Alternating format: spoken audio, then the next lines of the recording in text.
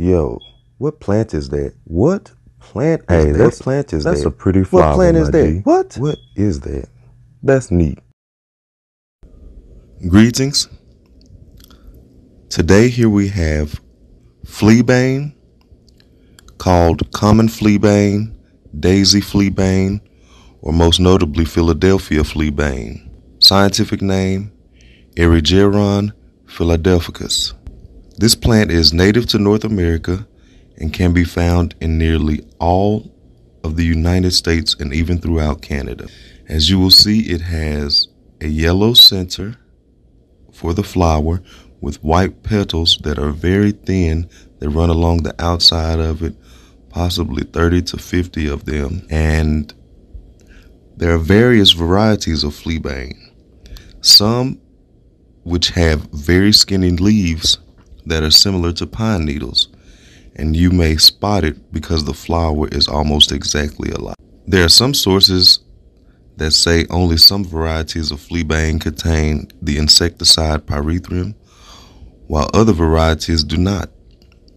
But if you should happen to chew this particular flower, this Philadelphia fleabane, for about 30 seconds, it does seem to have a strong repellent flavor, like it would even repel you from swallowing it.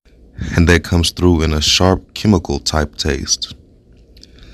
As previously stated, this plant has a strong chemical taste and therefore is more suited to the medicinal side when needed rather than the edible side. In fact, it certainly would not be my first choice, neither would it be my second to last choice as a food. The Cherokee and other neighboring tribes use the Philadelphia fleabane for many ailments, including epilepsy. A poultice was made from the plant to treat headaches. The roots were made into a tea and chewed to treat colds and coughs.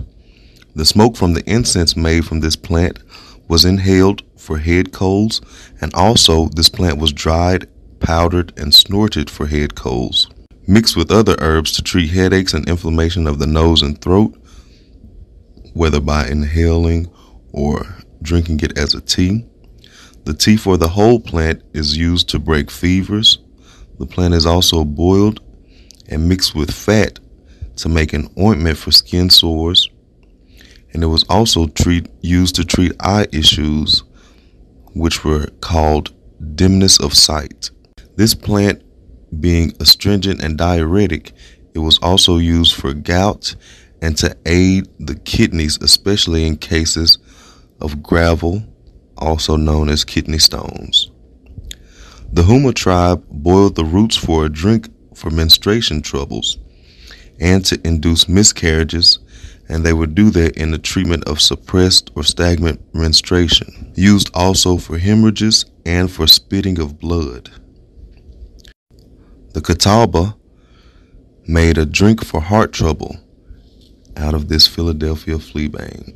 Now, there is a debate as to whether it will repel fleas or other insects or not, and that is mainly dependent on the insecticide being present within it. Though some people with sensitive, very highly reactive skin have been known to get contact dermatitis from handling this plant.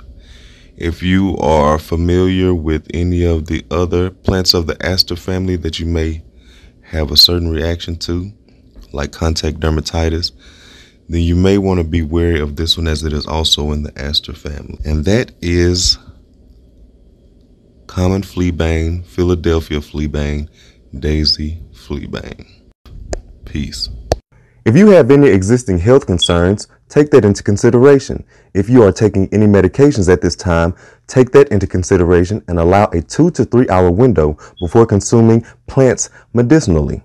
Do not take anything that you are not sure of or that you have not properly identified. If you have any further concerns, do not consume the plant. If you would like to know what other medical implications may come about from going back to a more natural life to a more traditional lifestyle after you have properly identified and know the uses of plants thoroughly and you are still concerned, of course, consult your local drug dealing doctor.